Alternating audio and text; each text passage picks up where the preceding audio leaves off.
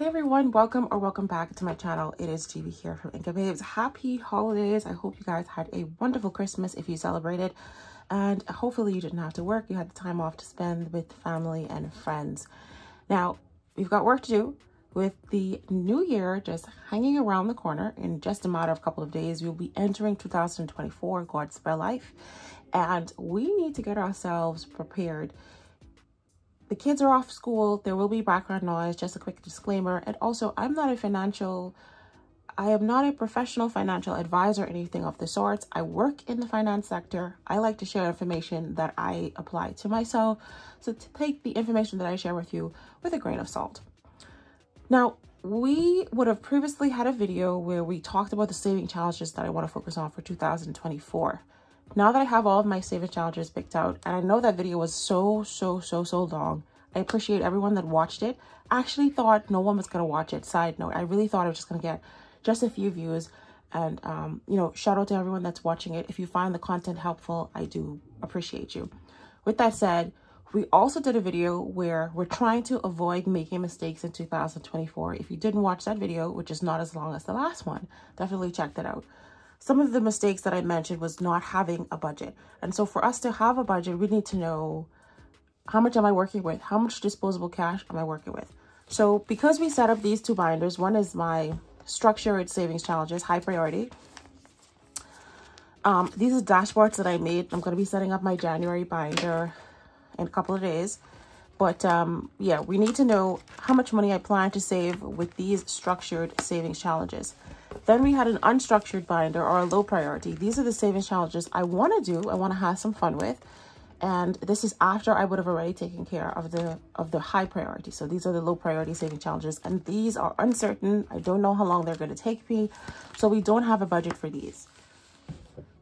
And those saving challenges actually will go down here into my bonus savings. Again, that's just the icing on the cupcake. All right. So what we're going to focus on today is trying to figure out what budget do I have for these and if it's actually realistic. And I encourage you, if you've not yet decided what your saving challenges are, what your financial goals are, how much you want to save, just grab a pen and paper and write down some numbers because don't make the mistake of not having a budget, not setting up financial goals, um, not saving for, you know, retirement, different stuff. You should know exactly what you want to have this year, the next five years, the next 10 years, the next 20 years. You, you should know. And if you don't know, take this opportunity as a reminder to figure it out. Now let's go to our saving challenges. And again, just use this video as a reminder if you've not yet done it. New Year's is literally next week, 2024. So just have yourself prepared. So what I'm going to do here is I'm going to go through all of the saving challenges that I have in my structured binder and we're going to add, we're going to see, figure out how much money we're going to have allocated for the entire year. We're going to add that up and then that's my financial goal for 2024. All right, so I'm just going to bring my calculator over here, right? And I hope I have enough slots here. One, two, three, four, five, six, seven, eight, nine, ten. And I think I have 12 challenges in here but some of them is high priority and some of them is low priority savings challenges. That's why I don't name my savings challenges binder high priority and low priority because this binder is structured and it has high and low priority saving challenges. And then the other binder is not structured and it just have a bunch of saving challenges that are all my bonus saving challenges. So if you wanted to have a high priority saving challenge binder and a low priority saving challenge binder, you can also do that as well. I don't consider these low priority essentially they are just bonus. I mean, they kind of are low priority if you look at it that way. Anyway, let's get writing and let's get budgeting. So for the five euro savings challenge, the aim the out the aim for this is to save five euros every week for 48 weeks. So basically the budget for this would be five times 48. That gives us a total budget of 240. So I'm just gonna write here for my five euros, uh, the total amount that we plan to save for the entire year is going to be 240 all right so we can put this away. And we don't have to we don't have to calculate the 10 euro one because it's double that.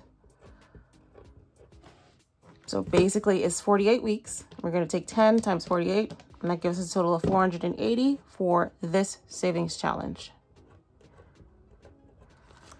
We have the 20 euro savings challenge as well.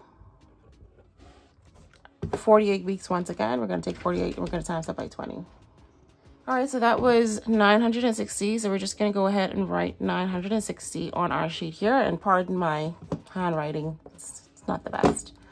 Okay, so next we have our affirmation challenges. And with the affirmation challenges, again, these are these, these are my low priority. Low priority does not mean they are not important. Low priority means that after I have these specific ones taken care of, then I focus on these ones. I'm, I'm going to say my affirmations every time I do my challenges anyway. It doesn't matter. It's just that if I don't have the funds, if there's something important that's happening in my financial life and I don't have enough funds, this is what I want to focus on first because this is this doesn't have a specific amount. So I'm just going to write the word affirm. Oh, I mean, I can actually fit, fit it in, can't I? Yeah, I can fit it in. Affirmations, right? So when I roll a die for this, uh, I'm most likely going to use a six-sided die because I'm only working with a limited amount that I can save per week. So if I roll a six-sided die, the highest amount that I will roll is going to be six. And there are six boxes here. So that tells me on a monthly basis, the maximum amount that I would need to have allocated for this challenge would be 36. If we take 36 and we times 12 months, that gives us a total of 432, right?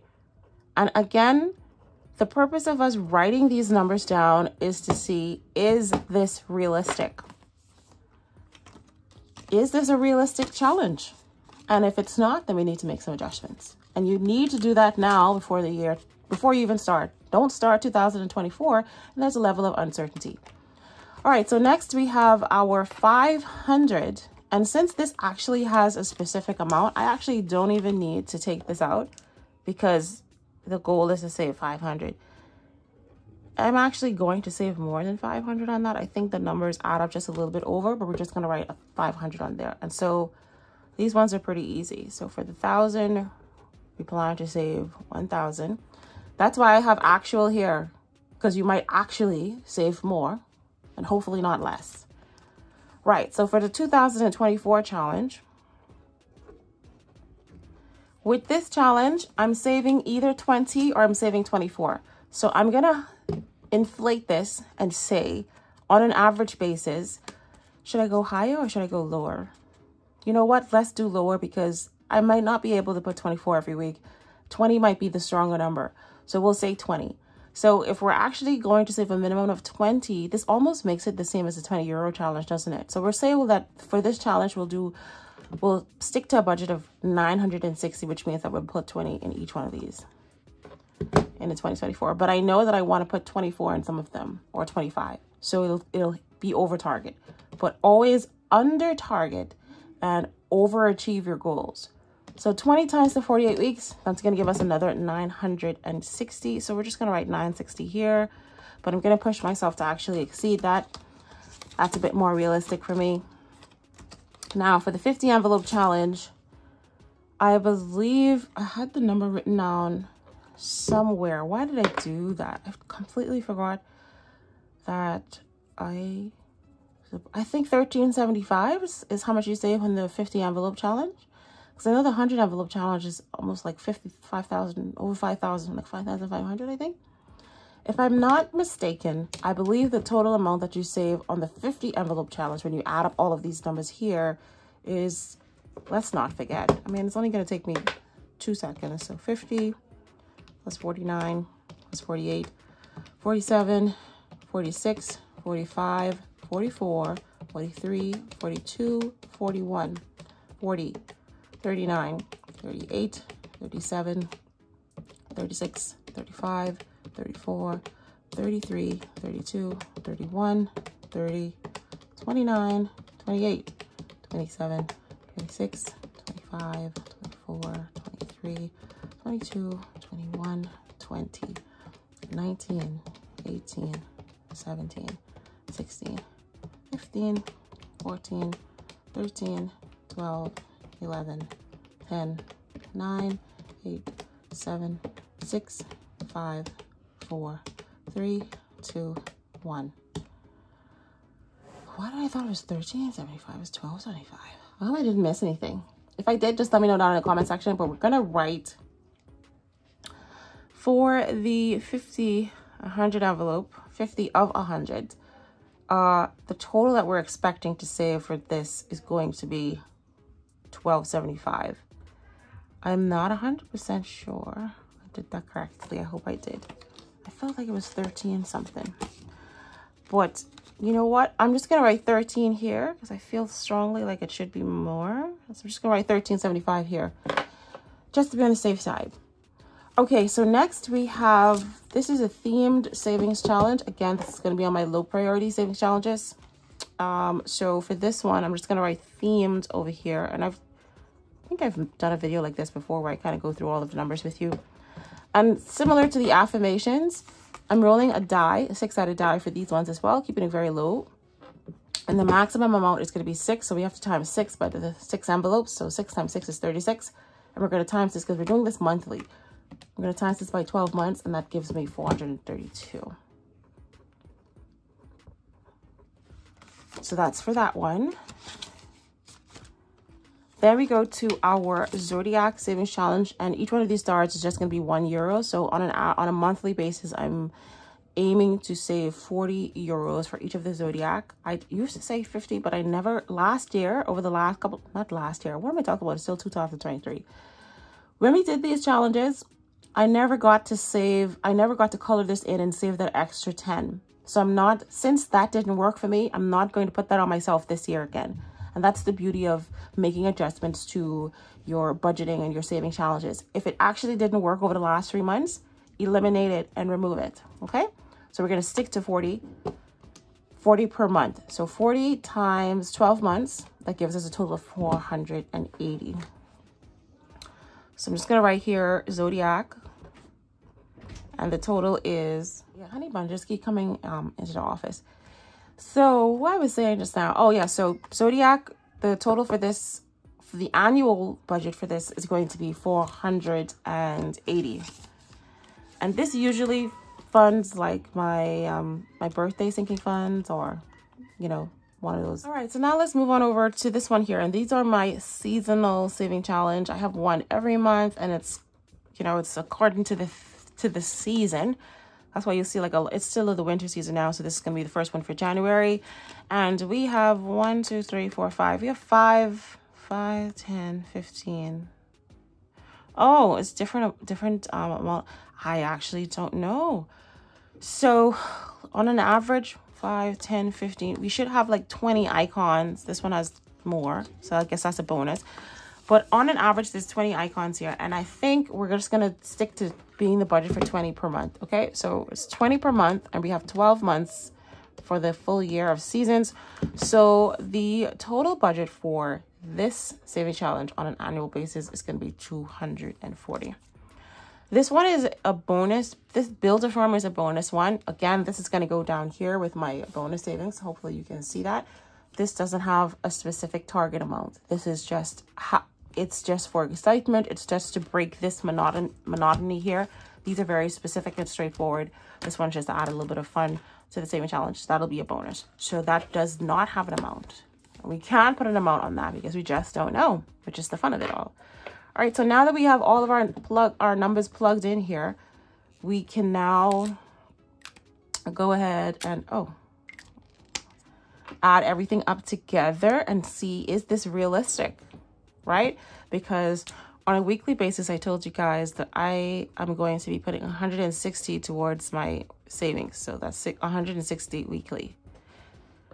So 160 weekly, 160 times, there's what, 52 weeks?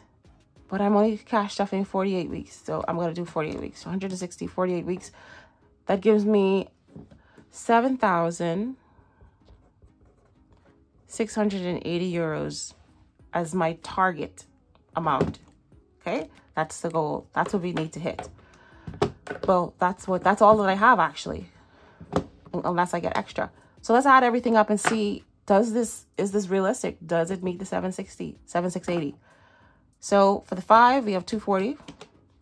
10, we have 480. 20s, we have 960. 500, 1000. We have 960 for the 2024. 1375, I inflated this one. We have 432. We have 432. We have 480. And we also have 240. So in total, for all of these saving challenges, we are estimating to come to 7,099, which means there are going to be some weeks that I have extra cash. That means I'm going to have this is 7680. Let's take away that. That means I'm going to have extra 581. And that's most likely either going to go to this saving challenge to the back here, build a farm, or it's actually going to go into this binder here this is where we have a little bit of fun. So after we take care of these saving challenges, we have some couple of few dollars left over and we just have a little bit of fun with this binder here. Now bear in mind, this does not include any extra cash that I may get. So say for instance, so this is the inflow that I'm expecting. Just write that down actually. I'm expecting an inflow of 7,680 for the year. Then there's also YouTube. And there's also Etsy. So every now and then, if I make a little 20 euros, a little 50 euros off of Etsy, even if it's every other month, that's still an extra couple hundred, you know, for the year that we can add on to this amount. And I'm going to be stuffing that in here as well.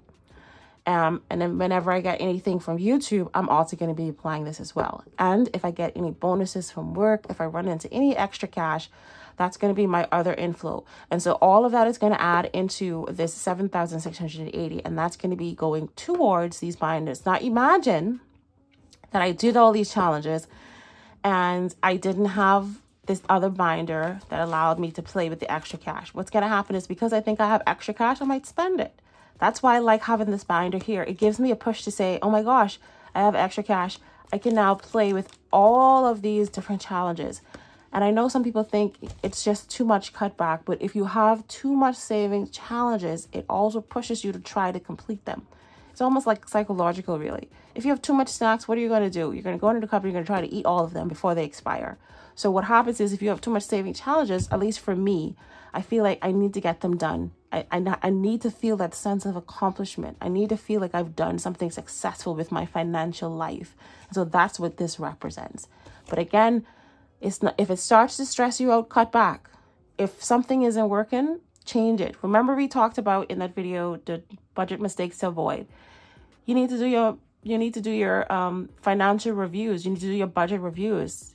Do and we plan to do a budget review every three months. So at the end of March, I'll do my first review and I'll see how do I feel? Is this working for me? Is this budget working for me? Is this binder with all these challenges working for me? Or is, is it overwhelming me? And I make changes then.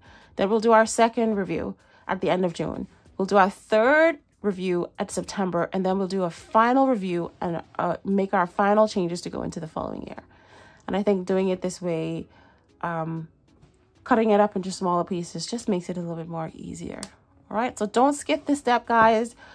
Try to get a pen and paper, try to get this done before 2024 so you have a sense of direction. Now I have a I have my map, I have my budget.